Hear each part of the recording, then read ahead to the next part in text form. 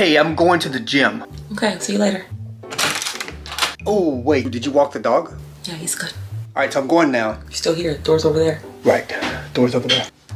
Oh, before I go, who's gonna get the kids at school? Just go already.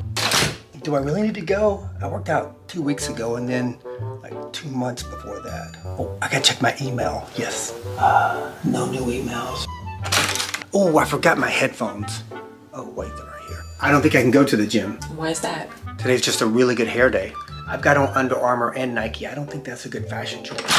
I mean, the gym's gonna be there tomorrow, right? I don't need to go today. You back? Yeah, I forgot my eye cream. Showering at the gym wastes a lot of water, and I'm really into the environment lately. Ah! What's the matter? Oh, my back. I think. Oh, oh! I need a nap.